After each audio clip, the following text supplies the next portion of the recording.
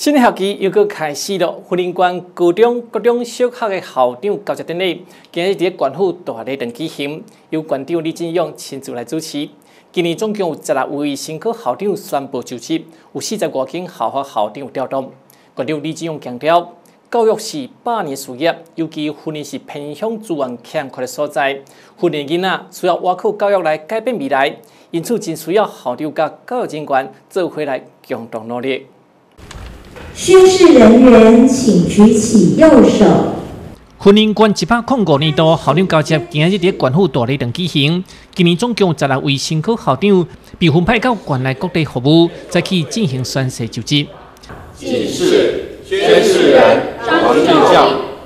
福林馆长李进勇在致辞时阵表示，做校长不容易，爱教囡仔，爱面对家长，同时嘛爱了解未来环境趋势。尤其校长更加是一名领导者，关系到学校整体特色和发展。校长的人格跟意志，代表一个学校的风格和走向。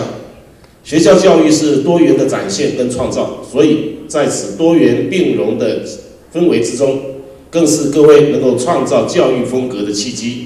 学校能够创造特色，代表学校能够产出教育文化，这样的教育特色将会是云林教育多元化的重要的指标。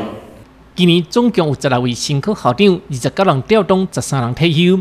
这次被分派到关江乡信义高校的新科校长王俊豪表示，这是责任，也是义务，也尽全力给学生一个良好读书环境。啊，当然，这个校长吼是管义务无毋对，嘛是一款挑战吼，甲责任啦。啊，未来吼。我会尽我的本分吼，甲这个学校吼经营好，办理好势吼，和这个吼春天吼，这个儿童的春天吼由校园出发，啊梦想啊由教育来实现。因为教育呢，它是百年的大计啊，希望每一位教育界的同仁呢，都能够啊把我们的重心放在我们的学生，希望让我们的学生都能够在一个非常良好的教育环境底下，他们能够平安快乐的学习跟成长。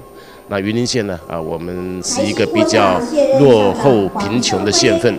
我希望我们的小孩子呢，都能够透过教育，能够有翻转的机会。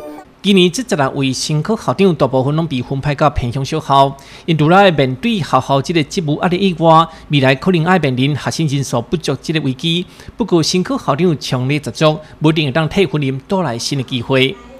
记者李明干创报道。